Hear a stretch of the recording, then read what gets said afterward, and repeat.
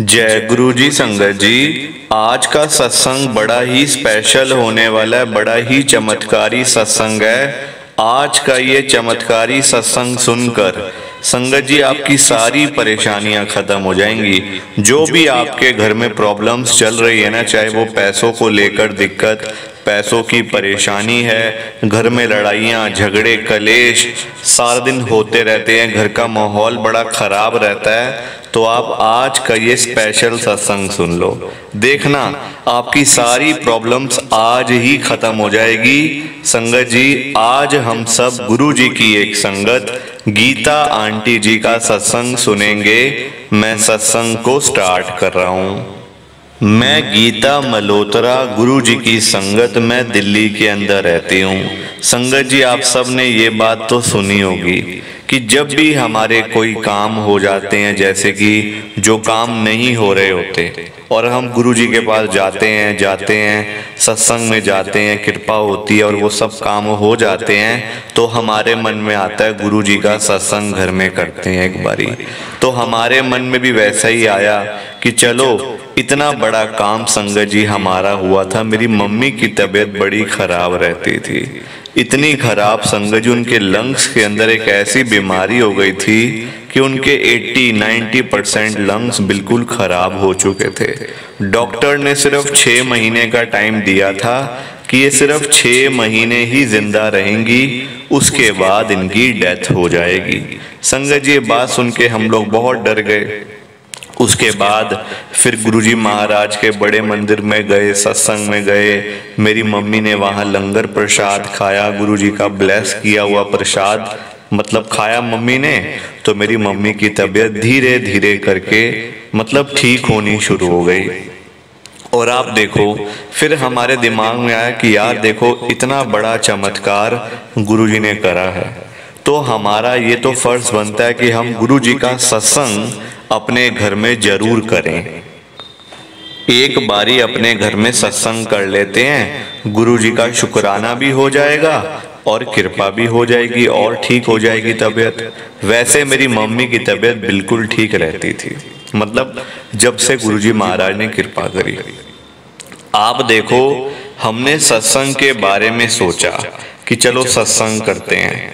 पर संगत जी सत्संग के लिए जो मतलब जैसे गुरु जी की गद्दी गुरु जी का स्वरूप और भी कई सारी चीज़ें होती हैं जो सत्संग में चाहिए होती हैं, ज़रूरी ज़रूरी। संगत जी कुछ भी हमारे पास में नहीं था और हमें पता भी नहीं था कैसे करते हैं, क्योंकि संगत जी किसी संगत ने हमें गुरु जी के साथ में नहीं जोड़ा, हम खुद जुड़े थे।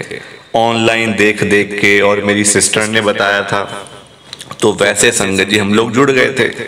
अब पता नहीं सत्संग कैसे करते हैं, गद्दी कहाँ से मिलेगी गुरु जी का चोला कहाँ से मिलेगा, सिंहासन पूरा, स्वरूप कहाँ से मिलेंगे?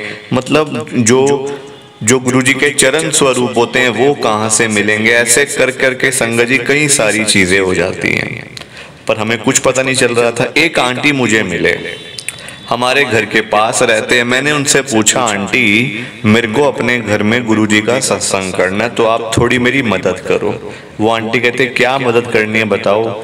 वो भी गुरुजी को मानने वाले थे। वो कहते, मैंने तो खुद कभी अपने घर में सत्संग नहीं करवाया। मैं तो पहली बार ही मतलब सोच रही हूँ, मैं भी करवाऊँ, पर अभी कोई पता नहीं है कुछ ही कब करवाएँगे। तो मैंने कहा, आंटी, मेरी हेल्प करो, मुझे बताओ कि गुरु की गद्दी कहाँ से मिलेगी? गुरु का चोला कहाँ से मिलेगा? स्वरूप कहाँ से मिलेगा? संगत जी, हमने पूरी दिल्ली छान मारी। पूरी दिल्ली संगत जी, हम लोग घूमे यहाँ, कभी वहाँ, कभी इस बाज़ार में, कभी इस मंदिर में, कभी किसी के घर में जा रहे हैं, कभी कहीं कभी कहीं। संगत जी, सब जगह से हम लोग खाली हाथ ही आए हैं। खाली हाथ वापस घर में आए संगत जी, कुछ पता नहीं चल रहा था कहाँ से मिलेगा, क्या होगा। मतलब जब थक गए, हार गए मेरी मम्मी मुझे कहते, कोई बात नहीं बेटा, अगर गुरुजी का सत्संग, अगर हमें गुरुजी गद्दी नहीं मिल रही ना तो तुम ऐसा करो, घर में दो घंटे का सत्संग लगा दो मतलब कि शब्द लगा दो, और सामने छोटा सा गुरुजी का स्वरूप तो था ही हमारे पास, बिल्कुल छोटा सा पॉकेट साइज़ का। तो कहते, ये रख लेंगे गुरुजी को, और हम आपस में बैठ के सत्संग कर लेंगे, बाद में प्रसाद बन जाएगा घर में। मैंने कहा, नहीं मम्मी सत्संग करवाना है तो पूरे हम मतलब अच्छे से सत्संग करेंगे जैसे सत्संग होता है। जैसा हम लोग देखते हैं। लोगों के घरों में जैसे सत्संग होते हैं, हम भी अपने घर में गुरु जी का वैसे ही सत्संग करवाएँगे। मम्मी कहते देख ले चल फिर। अब संगत जी, मैं और मेरा बेटा, पूरी दिल्ली हम लोगों ने छान मारी, कहीं से कुछ ना मिले। यहाँ फ़ोन मार, वहाँ फ़ोन मार, कभी इधर, कभी उधर, कभी इस मार्केट में, कभी जीके। संगत जी, हम लोग करोल बाग में रहते हैं, हम जीके तक हो आए। कहाँ करोल बाग और कहाँ ग्रेटर कैलाश? एक कोना और दूसरा कोना ग्रेटर कैलाश। सब जगह घूम फिर के जब थक हार गए ना, हम तो घर बैठ गए। मैंने कहा जो होगा गुरु जी की मर्ज़ी है।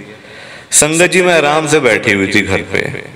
कुछ पता भी नहीं कैसे सब कुछ करना है, क्या नहीं करना। अचानक से मेरे फ़ोन पे फ़ोन बजता है मुझे नहीं पता किसका था, अननोन नंबर था। मैंने पहले उठाया नहीं, मैं साफ़ बता रही हूँ आपको। इसमें कोई छुपने छुपाने वाली बात नहीं है। पहले मैंने वो फ़ोन नहीं उठाया।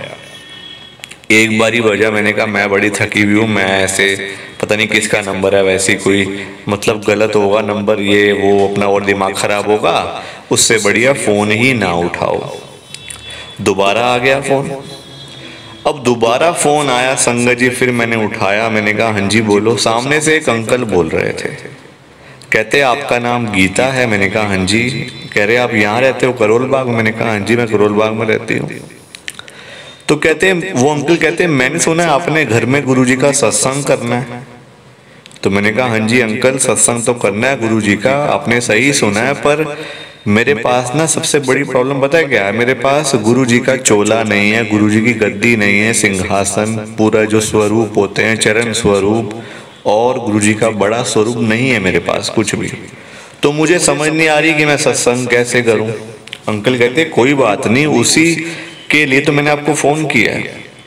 मैंने कहा, अंकल, आप कहाँ से बोल रहे हो? कहते वो कहते मैं बड़े मंदिर से बोल रहा हूँ। मैंने कहा, बड़े मंदिर से आपका क्या नाम है? उन्होंने अपना नाम बताया, संगत जी, और देखो, मैं ऐसे नहीं कह रही आपसे। उन्होंने अपना मुझे नाम बताया, मैं नाम तो आपके साथ शेयर नहीं कर पाऊँगी, संगत जी, क्योंकि देखो, ऐसे किसी का नाम लेना या कोई ऐसी बात हो तो फिर संगत जी अच्छा भी नहीं लगता, है ना? ऐसे मैं किसी का नाम लूँ। उनका जबकि मुझे खुद कॉल आया सामने से खुद, उन्होंने मुझे फ़ोन करा। वो बड़े मंदिर में ही होते हैं, संगत जी हमेशा आज भी होते हैं। तो मुझे कहते हैं कि सब कुछ आपको मिल जाएगा, एक मैं आपको घर बता रहा हूँ, यहीं करोल बाग में आपके साथ ही।